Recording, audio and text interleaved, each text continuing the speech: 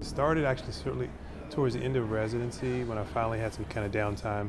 Um, and it's really a story about my journey through medicine, medical school and residency as an African American male. So it's a story that really tells uh, the narrative of what my own journey was like as a doctor, but also the story of patients uh, and their uh, navigating the healthcare system.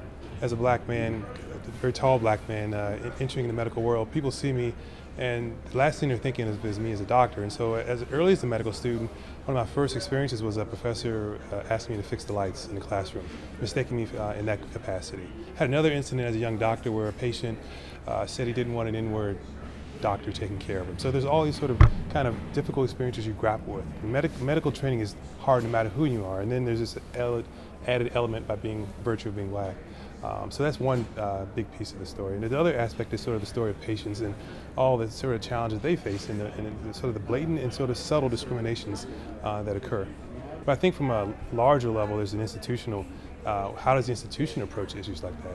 Some of the encounters that I faced, uh, I had the support of my institution, um, where a patient might say they don't want a provider, they don't want a black provider, and someone higher on the chain than me would say, well, you know, you're at this place, you're uh, this is an academic center, you see this person or you see no one. And so there's that, that kind of support uh, is really important.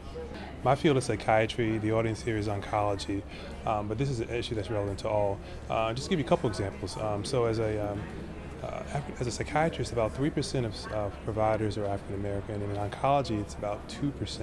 Uh, the, the, population of African Americans in the country is 13%.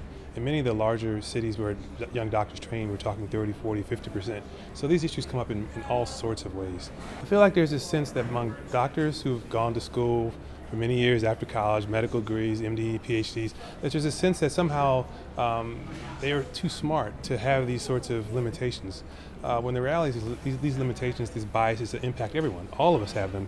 In my story, I'm candid about my own biases. I mean, I think it's something that we all have to kind of frame and understand. And I sort of use my own experience as a window into that larger discussion.